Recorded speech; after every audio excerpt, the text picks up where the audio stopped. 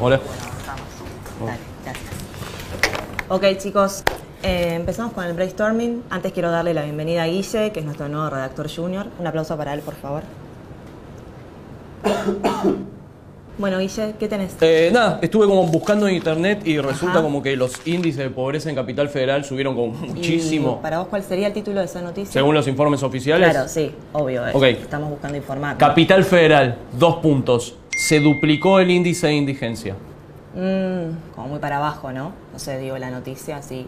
Ok. Como que vos pensás que esto Sí, es para es gente un- que lo está, o sea, que lo consume en el colectivo. En realidad como que le chupa un huevo lo que vos decís. En ¿entendés? realidad es como una nota como más social. Sí, ¿no? ok, pero digo, esta gente indigente de la que vos hablás, ¿qué es lo que le estaría faltando? Alcohol, armas, droga, un CD del averizo. No, sí, comida, más ¿Y de bien. cuánta gente estamos hablando? ¿Son 20, son 30? 200.000 personas. Ok, ya lo tengo.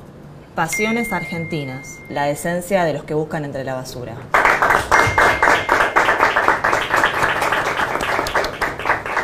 Bueno, ahora sí, ¿eh? Estamos on No, fire. no, no, genialidad, genialidad. ¿Qué más tenés? AFIP, más jubilados pagarán el impuesto a las ganancias. Un nuevo desafío en el mundo laboral, prepararse para trabajar hasta los 80. Sí, pero, pero no entiendo a, a qué edad se empezarían a Y preparar. al 79, o sea, ¿qué edad tiene Mirta Legrand? 91 años. Ah, chapija. Eh, también tengo la lista de todas las marcas de ropa que se están yendo del país. Minimalismo extremo. Qué genio. Los que se despojan de todo lo material. Pero ¿quién dice que eso es necesariamente ¿Cómo algo bueno? no? La china que te enseña a doblar las camisas en Netflix. ¿Qué? No sé, digo, te salvo contra los chinos. La estás rompiendo, Lu. ¿Esto es Me real? gusta el enfoque humano de eso. ¿Ustedes son reales? Yo conozco un pobre y la va a sentir. ¿Qué ve? Ferias americanas, pero más cool. Lo bueno, si viejo, dos veces bueno. Sí, creo que ese fue el alegato de defensa de Juan Eh, D'Artés. Vamos con un ping-pong mejor.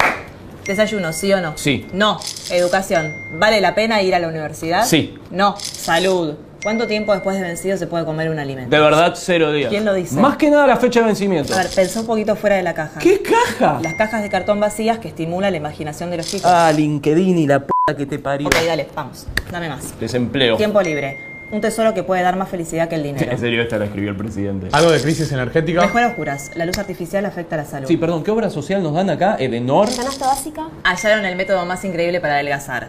Comer tierra.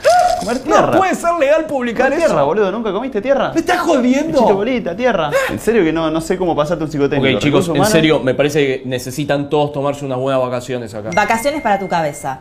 ¿Cómo tener una escapada mental? ¿Qué mierda es una escapada mental? Llama al guarda y pregunta. Asunto escapada mental. Buah, eh, yo no puedo seguir con esto. Quejarse y protestar es malo para la propia salud. Wow. Se puede despedir y terminar con la pobreza. ¿De qué manera? No sé, pero está despedido. ¿Y qué le voy a decir a mi familia? Millennials. 10 años en la misma empresa puede ser un fracaso personal. Pero yo empecé a trabajar acá hace cinco minutos. Ah, pero vos sos un éxito.